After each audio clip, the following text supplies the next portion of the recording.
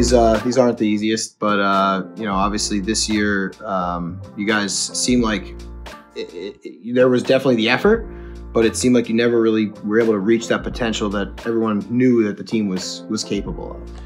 Yeah, it was something right from the start. We knew it was going to be a bit of a um, adventure, if you will, just from the group we had, the group that was leaving from last year, uh, new head coach.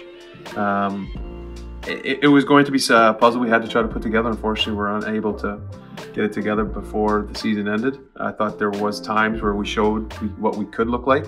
Uh, unfortunately, it just didn't happen as often as it should have. How much do you think the even the two playoff games that you guys had will help for some of the younger guys that had never really had that experience, or maybe they had some of experience, but doing it in Colorado against that type of team, and you guys held your own, obviously, in both games. Uh, it should be very beneficial.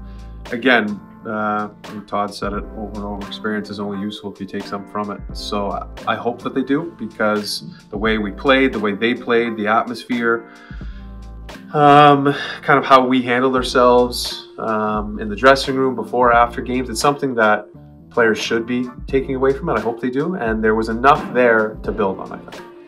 You've obviously had a chance to play with a couple of different D partners and a couple of the young guys this year and last year, but even including the forwards, you go back to 2021 and you were here for what was seemed like half the team's first pro season. You know, what's it been like being a leader in the room with so many young guys these last couple of seasons?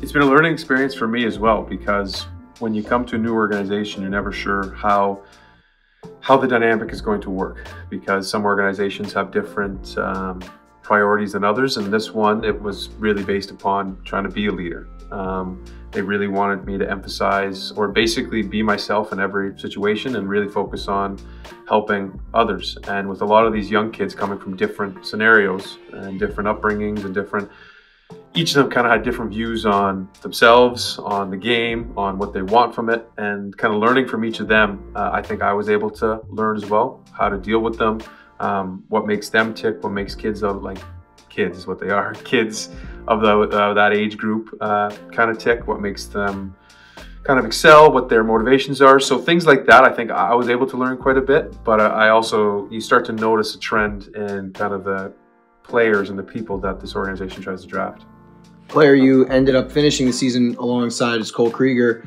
and he's a new member of the organization, so fans might not know him as much. I mean, why should they maybe be excited about him, and what was it like for you to? Uh, he's not maybe as much of a kid as some of these other players. He's a little bit older, a little bit more mature. Yeah, yeah, mature is definitely one of the things that he has. Maturity, pardon me, is something that he has that others might not. Um, he's a guy who, like you said, went through college. He's been working for the last couple summers. He's someone who has a good head on his shoulders. Not saying the others don't, but he's just someone who's got a different perspective. Um, and like you said, his maturity levels just are that that much higher than the others. On the ice, what to be excited about? I'm trying to think of a different term other than stallion, but how he skates is just something that God given, but at the same time, he's clearly worked at it because he's an excellent skater. His ability to jump up in the rush and even get back and plays is something that even at an NHL level would be special. So once he kind of uh, chisels around a few of the edges, maybe um, gets a bit better understanding of the pro game, a few things here and there, I don't see why he can't be someone who's playing every night in the playoffs for an NHL team. You obviously had participated in some, you know, Kings content with, you know, the World Juniors and analyzing some of the prospects and stuff. Well, with the way that you view the game and with the way that you view prospects, how quickly do you dial in on some of those things that, for example, Cole Krygier does really well once he gets here? I think I, am able to dial in a bit quicker than others because that's kind of been my role my entire career is playing with that guy who first comes to the team. Usually I, I kind of pride myself on knowing things about our team uh, better than others because that's what I need to do to be successful. I might not have the same physical tools as other guys, so I need to be mentally uh, above. So for a guy like Cole or when I played with Jordan Spence or when I played with Helge or when I played with Durzi, I kind of need to learn what they do well and what they don't do well so I can help them. Because normally if I'm playing with them, the better they are, the better I am. So I need to learn those things quickly. And even on past teams, that's been my role. So I think I'm able to pick it up quicker because that's been a necessity of mine, almost a, um, an evolutionary thing.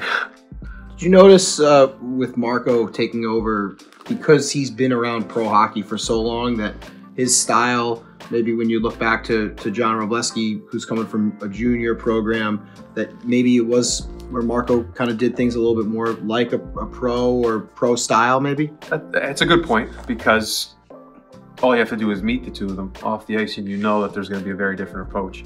Um, Marco is someone who clearly has been around the pro game for a long time.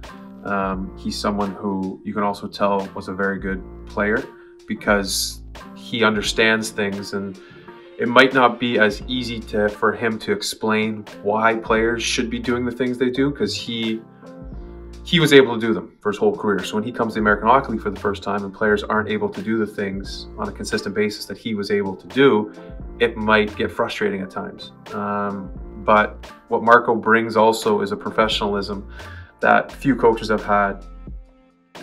Really, he can do. Um, he's able to bring it day after day after day, just how he carries himself. He's always prepared. Um, he's someone who there's never going to be a new scenario that he hasn't seen before. So I think Marco brought a professionalism to our group that I think a lot of guys needed. What's it been like uh, working with, with Chris Hyde over the past couple of years? I mean, you guys must know each other pretty well mm-hmm. at hmm. this point, uh, and he's a pretty detailed person uh, as he prepares. Uh, Hyder and I have become uh, very close. Um, he's a wonderful man.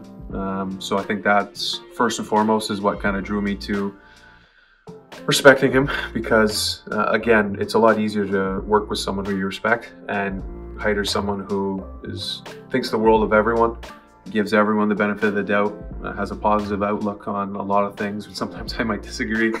um, he's got a positive outlook on so many different things. And like you said, he's detail oriented. Uh, someone who's my age, you want to be considered relevant. You just want to be seen as someone who uh, is will uh, someone who's worth the time because there's a lot of times um, where you feel like I'm not worth it or you feel like I'm not the priority here whereas Hyder makes everyone feel like they are um, there's sometimes his, his coaching base be a bit tedious because he is so detail oriented but again, the more information he can give us, the more we're able to work with. If you don't want to use the information, fine, but Hyder gives you everything you need to be successful.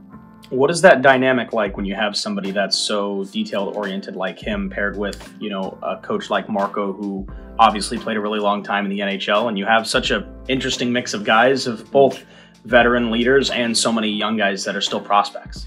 it's that's the thing. The American Hockey League brings those stuff to like different dichotomies all the time. And for instance, this year, it might have taken a bit of time for them to kind of understand how to play off of each other, um, how Marco's style blends with Hyder's style. Because every good coaching staff I've been a part of, they understand how to kind of play off each other.